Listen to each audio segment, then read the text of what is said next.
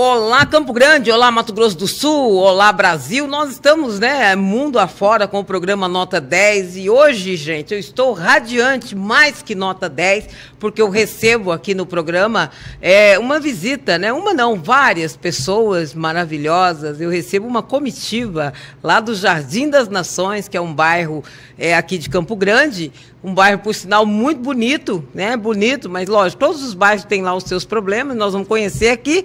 E eu recebo assim a comitiva, o presidente e sua comitiva, para conversar, bater um papo. Ele que recebeu o prêmio Cidadão Nota 10 esse ano. Nós vamos conversar com o Vanderlei, com a Sônia e o doutor Van, é o doutor Fernando, né? Nós vamos começar com ele, o presidente, Van, é, o Schneider, né? Schneider, Nós chamamos Schneider. você de Schneider, todo mundo conhece Schneider. como Schneider. Schneider, tudo bem? Tudo bem. Primeiramente, eu gostaria de agradecer a oportunidade pelo, pelo convite, né, Marinalva? E de estar apresentando o nosso bairro Jardim das Nações aí para todos nós vamos conhecer hoje o Jardim das Nações. Schneider, qual o, o, bairro Jardim das Nações, ele, ele nasceu há pouco tempo, ele é um bairro novo e bonito, né? Bonito. Mas é... lá tem seus problemas. Conta Sim, pra gente um pouquinho. Um bairro de aproximadamente 20 anos já. É, ele é um parcelamento do Paraty, né? Fica na região do Aianduizinho. Com aproximadamente 2.500 pessoas moradoras, é, 2.500 é, pessoas lá. Casa, as casas são, é, são casas boas, padrão num padrão, padrão né? Um alto padrão, padrão ali, né? Sim. E quais são os, os principais problemas ali daquela região? Os principais problemas ali é o, a pavimentação asfáltica. Muita poeira, muita lama. Ainda mais agora, ainda mais agora que veio o esgoto. E Sim. eles mexeram na, nas, nas ruas que já estava é, cascalhada, né? Vamos dizer. E, esse, e mexeu as terras e ficou aquela lama vermelha. Quando chove? Quando chove, até o caminhão do lixo atola. e quando é poeira? ah, os problemas. Eu tô com problema respiratório, tô Sim. com garganta ruim, por causa que lá é muito, muita poeira, muita poeira mesmo. Certo. E aqui eu tô com um advogado aqui, quero perguntar para ele o problema da segurança. Qual é o problema? Qual é o principal problema da segurança lá na, no bairro? Bom dia, Marinalva. Bom dia. Tudo bem, doutor? Ah, Marinalva, o atual problema da segurança que nós temos hoje é com os andarilhos. Eles, ah, de certa forma, ah, eles fora a parte de revirar o lixo, né, que eles, além deles revirarem o lixo, eles pegam o lixo e jogam todo na rua. Eles reviram uhum. e jogam lixo na rua, né? Na rua. Uhum. Tá? Ah, ameaçam moradores. Tá? Eles eh, batem na porta do morador pedindo uma água, comida e tal. Se o morador fala que não tem, começam a ameaçar o morador. Ah, mexem com mulheres na rua. Complicado, que estão passando. Né? Então, assim, tá, tá muito complicado. E fora acho que agora a maior incidência que está acontecendo lá no bairro uhum. é o roubo de fiação. Ah, tá. Nossa, isso tá muito, muito, Sim, muito complicado. Campo Grande todo, né? Campo Grande, é. né? Todo, mas lá também, né? Porque Nossa, tá muito complicado Viatura... o, roubo, o roubo de, de, de, fiação. E as viaturas, têm passado por lá ou só quando acionam? Estão com a guarda, né? É, a, gente, guarda, municipal. a guarda municipal ela passa lá, mas assim, infelizmente, né? Falta um pouco ainda. Falta um pouco de efetivo. Falta um pouquinho. Falta, eles né? passam lá. Não posso, também não posso ser leviano falar que não passa. Sim. Não, isso não, vocês não é. Eles base, passam. Você tem uma base ali próxima? Tem próximo, tem, tem no tem? Jockey. Jockey, né? Mas é longe. É, longe. é a mais próxima que a gente é mais tem. Próximo, longe. E o décimo batalhão está ali no Ipiranga também. É, ali é, é, né? É longe ali, porque o bairro é um... de vocês já, já tem um número né, sim, grande sim. ali de, de pessoas, né? Poderia, Poderia ter uma, ter uma base, base mais ali. próxima, é, mas que eu passo por ali, porque eu tenho a minha família mora ali. Inclusive, sim, minha irmã está sim. aqui, até vou bater um papo com ela, né? A Sônia, que faz parte da diretoria. Minha mãe, meus pais moram ali, né? E a minha irmã Sônia, a professora Sônia ali, que, que vai para a escola de manhã, que agora ela aposentou, mas ela de 5 horas da manhã está saindo para ir para ir a escola, voltando à noite ali. E é o problema de segurança. Né? Olá, Sônia, minha irmã, que prazer te receber aqui, minha querida. Bom dia, Marinalva. Bom dia a todos. Tudo bem? É, tudo bem. E, e fala pra gente um pouquinho mais do seu bairro. Olha, além da segurança, além do asfalto que não tem, descarte de lixo. Certo, o lixo. Muito né? complicado. É, né? As pessoas jogam, acham que ali é um lixão. E não é. Falta de respeito, falta de educação com o nosso bairro. E com alguns bairros também de Campo Grande que acontece a mesma coisa. E animais mortos. Ah. Um descarte de animais mortos que. Que olha, coisa, né? é, Vocês ali do lado, né? O pessoal vem e joga. é, e, e tem, as pessoas são direcionadas a julgar corretamente, mas não fazem isso. É, É. muita falta de educação mesmo. O que que você acha que tem que ser feito, Tônia? Uma vigilância, Nossa, um- câmeras, né? Olha, câmeras, câmeras e principalmente educação. educação. Tudo né? começa na educação, a base. Como eu sou Professora. professora, É. tudo começa na base. E também a, o- os pais têm que dar o exemplo.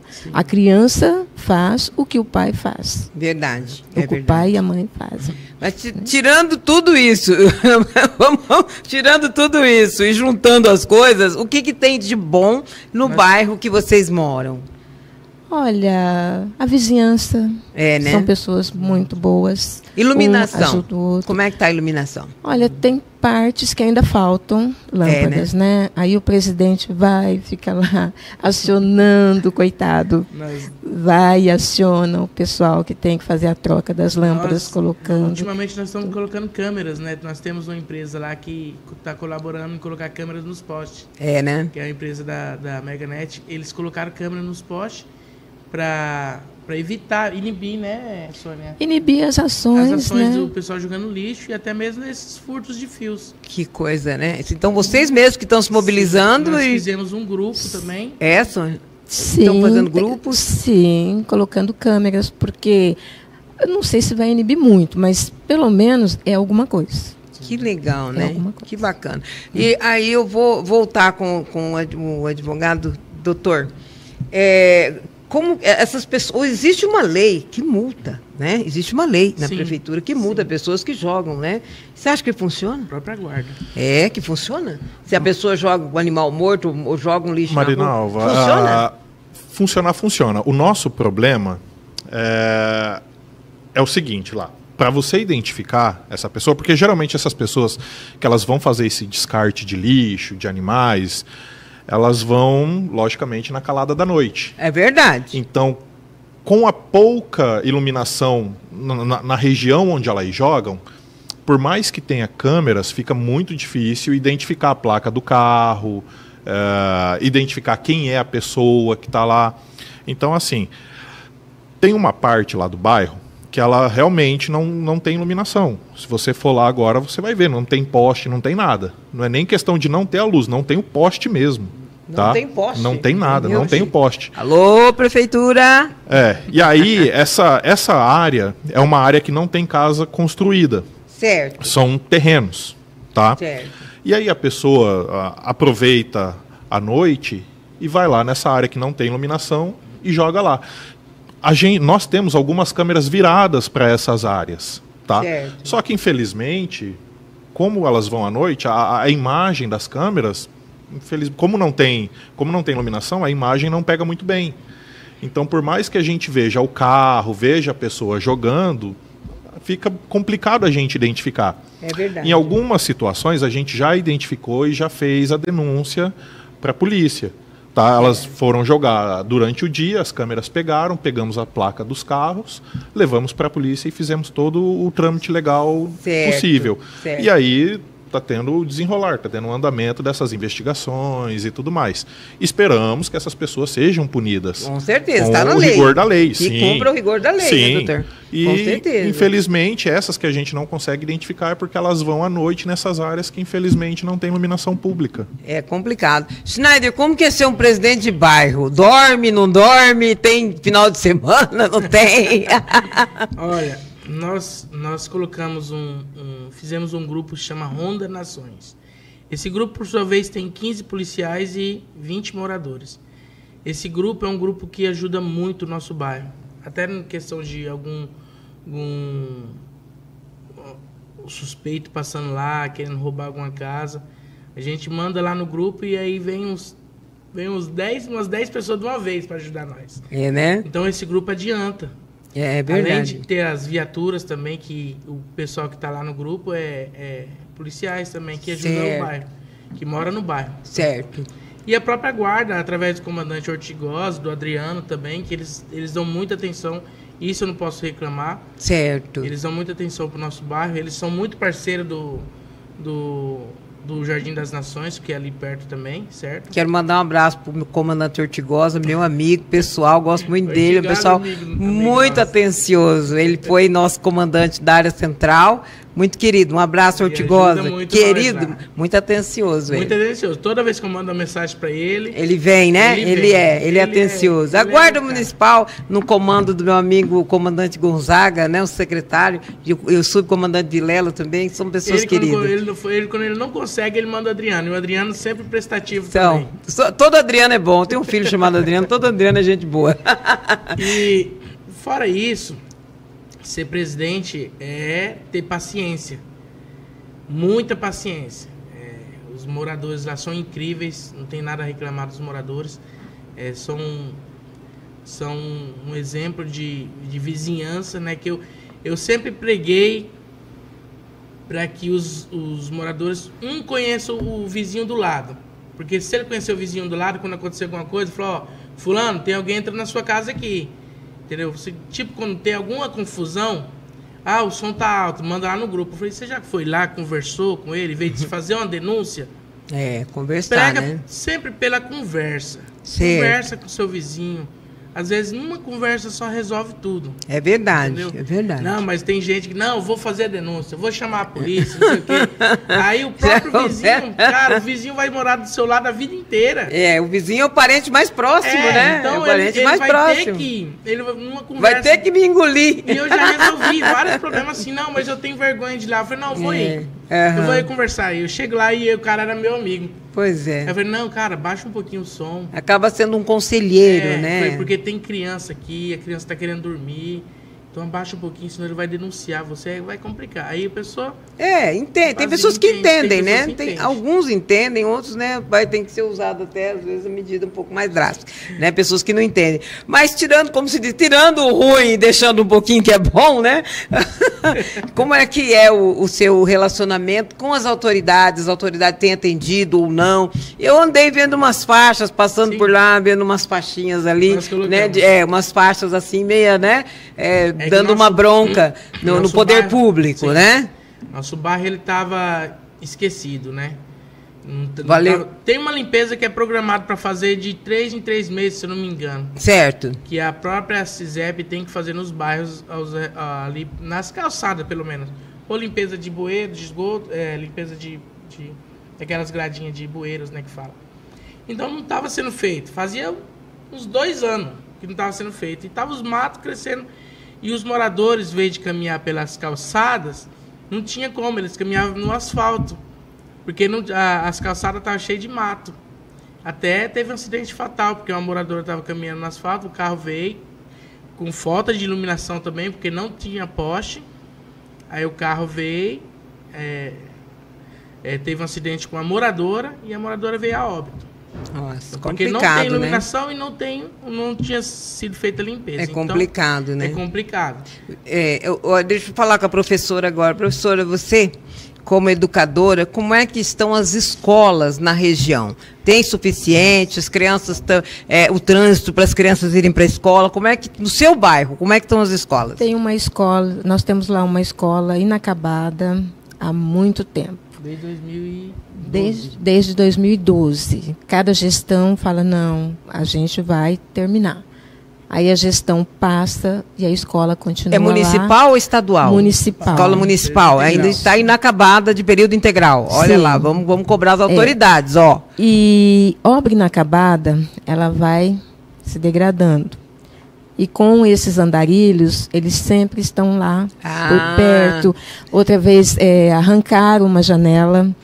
Os moradores tiveram que correr atrás Que absurdo. do marginal. Que- Gente, imagina. Tem. Atrás, Tem Olha, até a matéria no MSTV. Imagina, o morador correndo trás. atrás do morador de rua, Para né? devolver a janela. Para devolver a janela. É um absurdo. Olha aí, é um É, absurdo. é é assim que funciona, né? Quando falha, né, o poder público não está presente, o morador tem que fazer a vez, né? Infelizmente. Eu gostaria que os nossos impostos fossem melhor distribuídos. Que coisa, né? Que maravilha. E, e, essa escola, Marinalva, ela tem já uma verba, né? Nós fomos atrás, já tem uma verba. Sim, é, uns quatro, cinco anos atrás, falaram que ela já ia começar, recomeçar a construção. Aí é, não tinha cobertura na quadra. É muito difícil, a pessoa faz um planejamento e não faz uma cobertura para a quadra. Que Aí embargar né? a obra porque não embargar tinha cobertura na planta. Aí ia ter que refazer a planta por conta da cobertura. Mas olha. Mas são coisas que a gente nem acredita que aconteça. Que coisa, né? Não que... sei quando que vai liberar a, a, a pra, pra, vamos ver agora, porque nessa gestão acredito que não, não, não, não consegue não esse, esse, ano, não dá é, mais tempo por pode. ano político. Vamos ver uhum. o ano que vem, né? Nós vamos estar aqui no programa reivindicando, batendo em cima, né? Quem sabe ele dá, uma, dá um jeitinho, mas a gente vai estar ajudando. uma reunião lá com o secretário de, de Educação, né? O, como que é o nome dele? É Lucas. Eu Sim. e o Fernando estivemos lá, ele falou que já tinha o dinheiro, já estava tudo certinho, só que aí faltava licitar, né, Fernando? Agora, né? Isso. Então tá mais fácil agora, né? Licitar e boa vontade, né? A gente fala licitar, é boa, fácil e questão de boa vontade, né? E seria interessante, porque tem crianças para estudar. É lá, né? Tem muitas. Que elas lindo, têm que né? estudar longe. Período, período, integral. Então as crianças têm que sair para estudar que longe, outro tendo uma tendo uma obra lá inacabada para que possam é uma escola grande. É grande. Olha, olha isso. Grande. Vamos lutar por isso. E o asfalto? Me conta do asfalto que até hoje não tem lá. Não. Vamos, vamos brigar por esse asfalto, né? Nossa. É, ah, ah, vamos, o doutor Fernando. Vamos lá. E esse asfalto prometido? Gente, é. eu não estou aqui brigando com o prefeito, estou brigando, estou falando do poder público. Isso já vem de anos, né? Um passa para o outro, um passa para o outro e ninguém. É isso que nós estamos falando. Nós estamos reclamando do quê? Do poder público não atentar para as reivindicações das pessoas. Não tem esse negócio de ficar empurrando de um para o outro, de um para o outro. Tem que resolver.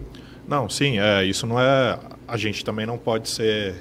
Ah, leviano de falar que é culpa da atual gestão. É, não é né? a atual gestão. Isso o, já vem de muito tempo, né? O bairro não, não apareceu agora, agora esse ano. Né? Exatamente. Já, já, tem alguns anos. Então, assim, Exatamente. assim, é culpa de outras gestões também. De outras gestões. Né? A gente está lutando para isso, já falamos com, com a, a prefeita, né?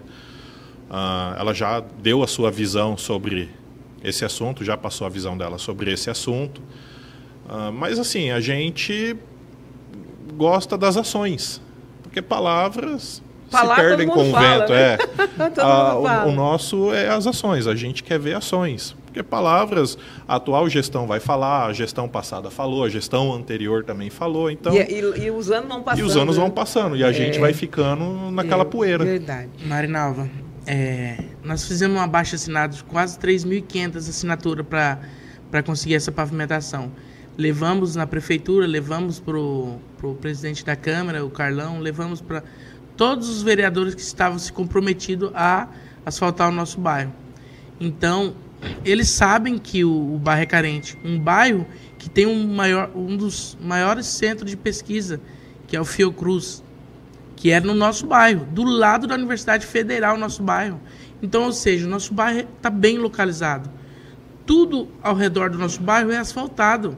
Só ficou a nossa ilhazinha do Jardim das Nações. Só ficou lá, né? É, então tá é complicado, entendeu? Nós vamos, nós vamos essa semana, nós vamos dar um pulo lá no bairro e vamos conversar com a população. Tem, é, tem bastante nós vídeos. Nós vamos dar um pulo lá. Bastante vídeos no Instagram nosso. É, que bacana. Olha, gente, só quer agradecer a presença de vocês, que é um programa um pouco mais curto, né?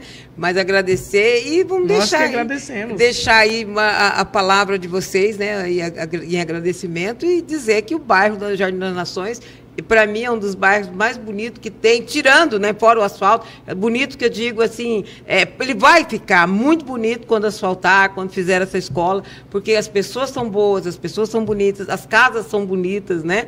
E, e as ações são boas. Então Sim. tem tudo para ficar um bairro maravilhoso. Obrigado. E se, se depender do presidente atual, nós vamos lutar. O presidente anota 10. recebeu um prêmio nota 10, a Isso. professora nota 10, doutor nota 10, então, aí só tem que ser a população nota 10, então vai dar tudo certo, né? Quero agradecer a E a professora Marinalva, Sônia, nota 10. Marinalva nota Marinalva, 10. Nota 10, porque que fez o convite. Quero agradecer a vocês, nós vamos dar um pulinho lá também, tá? Nós e aqui vamos está, receber você está aqui vai- à disposição de vocês o programa Nota 10, Jornal e TV O Estado. Estamos aqui há 10 anos já também, tudo aqui é 10, né? Estamos aqui há 10 anos de braços abertos para receber vocês. Obrigada a todos, Muito né? Obrigado, Marinalva. Tenha um bom dia para todos aí. Bairro Jardim das Nações. Jardim das Nações. Vai ficar nota 10.